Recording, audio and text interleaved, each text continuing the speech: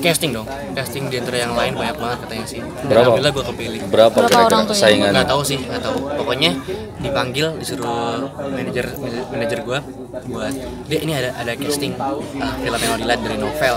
Mau nggak? Ya kalau gue kan pengen banget itu pengalaman baru. Jadinya akhirnya ya akan terintersep buat casting. Dan dua minggu kemudian dipanggil jadi Dilan seneng seneng iya grogi iya ya pokoknya senang banget sih karena juga ini juga tadi gue bilang pertama kali jadi peran utama. Dan pasti tantangannya lebih banyak. Mesra-mesra sama Aisyah seperti apa sih? Alhamdulillah sih untuk menjalin chemistry ya.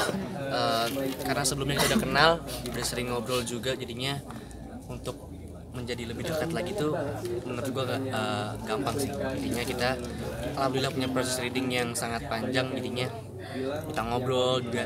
Kadang-kadang Aisyah curhat juga jadinya udah saling kenal. Gitu. fokus aja. Kalau misalkan dia udah punya pacar juga gua bukan urusan gua jadinya ya eh, fokus. Terus juga udah bilang ke Aisyah juga sih kalau kamu udah punya pacar ya tanggung jawab aja dalam pekerjaan. Em, sejauh ini sih belum ada yang belum ada yang eh, pemikiran seperti itu. Soalnya kan memang eh, mereka tahu kalau itu novelnya beda. Dan eh, jalan cerita juga beda dan di sini juga karakternya beda banget sama Dylan Iqbal. So ya Devana fokus ke karakter Dylan sendiri sih di Bella Dylan takut nggak dibanding-bandingin gitu? Kalau dibanding-bandingin sih bagaimana lagi ya? Soalnya kan ya netizen sekarang tafsir- tafsirannya beda-beda jadinya ya. Devana fokus terus dan Devana percaya kalau misalkan ceritanya beda ya memang beda sih. Tantangannya yang pasti mental karena pertama kalinya kan jadi um, ketemu pemain-pemain yang lain ada Angga ada Aisyah ada Zoe dan ya ketemu teman-teman yang lain juga uh, butuh waktu yang lama buat deket jadinya sekarang alhamdulillah udah dekat jadi kita untuk chemistry sama sama lain lebih gampang. Jadi prosesnya itu setelah syuting. Jadi uh, tadinya soundtrack itu gue pengennya sendiri. Tapi gue pikir-pikir lagi Aisyah bisa nyanyi sebenarnya karena gue sering banget denger dia di lokasi nyanyi-nyanyi kayak uh, bersenandung sendiri-sendiri gitu tapi gue kayak mikir kenapa nggak duet aja sekalian? Akhirnya kita duet.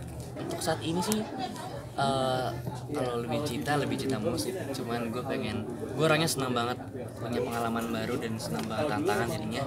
Kalau ada film lagi sikat. Mama adalah orang yang sangat berarti ya karena menurut gue mama itu orangnya galak banget. Tapi di balik kegalakan itu pasti ada kata-kata yang bermakna Mama sih sedikit kayak kaget gitu sih. Karena kan gue juga yang tadinya musik tiba-tiba acting Kayak kaget gitu soalnya. Ya memang gak kepikiran sih. Jadi aktor tuh gak kepikiran banget. Dan tiba-tiba ada tawaran aja. Terus ya akhirnya gue cerita sama mama Ma aku mau main film nih Main film gimana? Boleh nggak? Terus apa yang harus aku lakuin ya? Dan mama sih orangnya sportif jadinya ya. Ya sok silakan. Silakan kalau ada mau main. Galak Galak. Kenapa lo pilih galak? karena gue bisa mengerti apa itu kesalahan. Iya. Asik. Udah, Dev, terima kasih. pernah kri- Ya, dikritik pedes nggak sih sama mama saat lo berakting Sering banget apalagi kalau nyanyi, kalau acting sih untuk saat ini belum karena kan gue juga baru main nih dan mama juga hari ini datang ke premier dan semoga sih baik. Jadi jangan lupa untuk subscribe Cumi Cumi.